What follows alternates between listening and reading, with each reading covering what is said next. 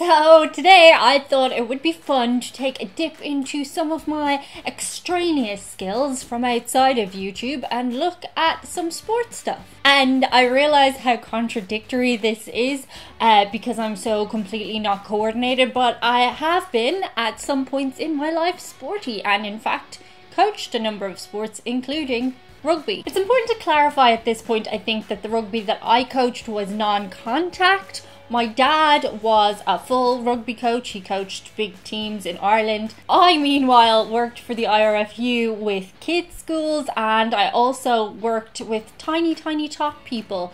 Uh, like tiny, like two and three year olds, teaching them the basics of rugby. I've been wanting to watch American football for a really long time because of the similarities to rugby and also the differences. I mean, obviously, it's kind of strange to rugby fans that you guys wear all that padding and stuff. On the surface of it, it makes you guys seem like pansies, I'm not gonna lie, but I'm curious to see if there's a good reason for all the padding. I mean, rugby players take hits too, so yeah. I'm very much coming into this a noob to American football. I've never seen a game before. I've always wanted to watch a game on here, but I was never sure what game to watch, and then it seems your games go on a really long time. Maybe it'd be fun to watch a football game with some kind of football YouTuber at some point in time. We'll see. What do I know about American football? I know you guys have hella style. You guys look amazing. Football is war. They have the cheerleaders, so there's a lot of hype around it. I know schools American football is humongous. Before I get into the video, do be sure to subscribe. Otherwise, the next time you go to eat fruit, it'll be bruised and brown. How disappointing for you. Should you like fruit? So subscribe to avoid that fate. Okay, let's jump into it.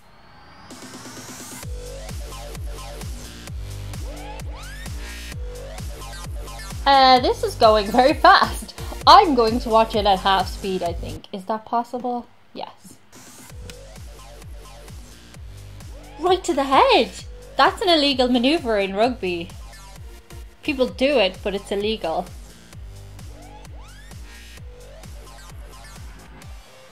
He didn't even have the ball. What?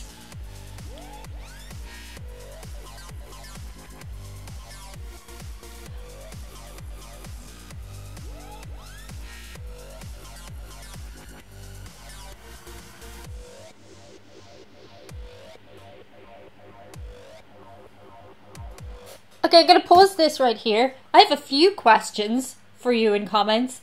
Are you allowed to hit people in the head? Because in rugby, you're not allowed to tackle people uh, above the shoulders. It happens, um, but it can get you kicked off the pitch.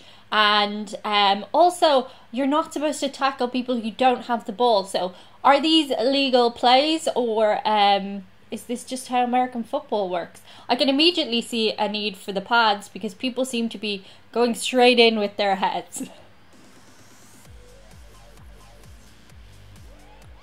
right to the head.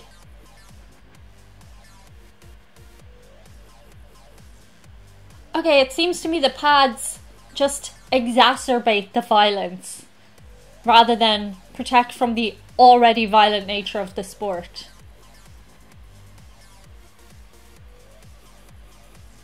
Oh, that would. Oh, did you ever get winded so bad?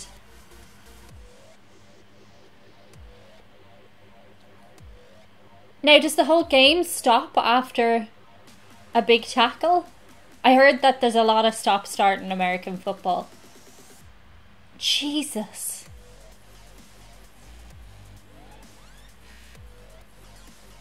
His helmet came off! Oh my god! His helmet came off. What's the point of the hel- All the helmets are coming off. If they keep coming off. I always wondered, would they obscure your vision somewhat? Two of them went at him from different angles. You could be very, very badly hurt. That looked like some kind of legendary game. I'm very fascinated by the fact that they seem to have two people coming in with a strategy to tackle someone. I mean, that does happen in rugby too, but it's very coordinated in this. Right for the head!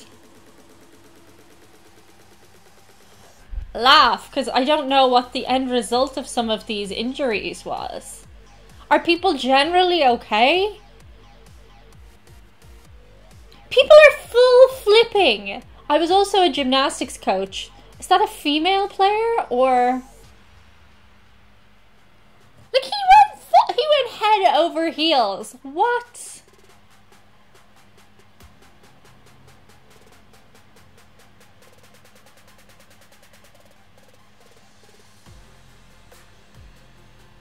Oh.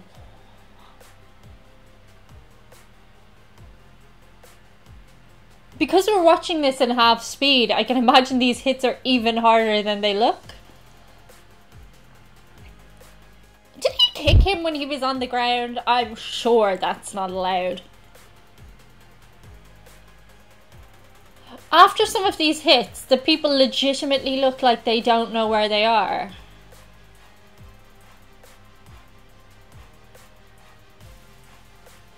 There are very similar skill sets for rugby and American football I'm seeing. Um Oh my oh my god, he went halfway across the pitch. I'm wondering in rugby it's also important that you be very fit. But I'm wondering with all the stop starting do you need to have as much endurance for a football game? Um because I, I know in, in teen movies, which is a reference for me with American football, you see Jesus. You see a lot of um, very large people playing American football, and I guess their job is just to do hits like this. I I can see why it's a young person's game. You wouldn't take those hits for too long. Oh, I think he did that thing where where when you get injured you go completely stiff. And that's like a really bad sign. Uh,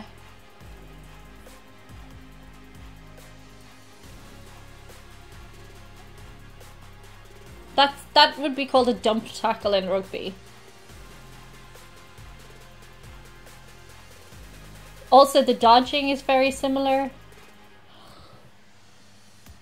Oh my god, that was like four guys on one. Right, shoulders right to the head. That's not okay. Is that allowed? And the helmets are off again. I can see why there's a lot of stopping. He was in the air.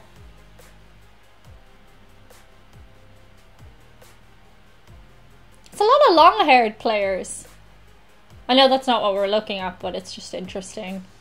In rugby, if you had long hair, you'd want your hair up because it's dangerous.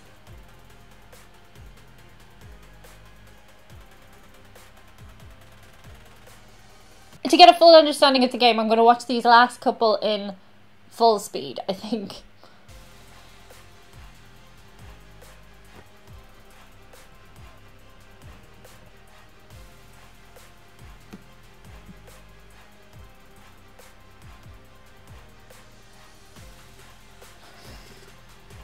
Oh. Oh. Oh. Oh. Jesus. I mean, what can you say? That was three on one. Oh, it's like whoa, like it's like full speed running into a house. In a lot of these cases. Oh, and I gotta imagine some of these are school ones. Are they? Oh my god, babies! Oh. Yeah, with our babies, our tots in rugby, we definitely, it's no contact. Um, pretty much, I think, until you get to secondary school. As school goes up in junior school, that they experiment with tackling and stuff, learn a few things on the pad.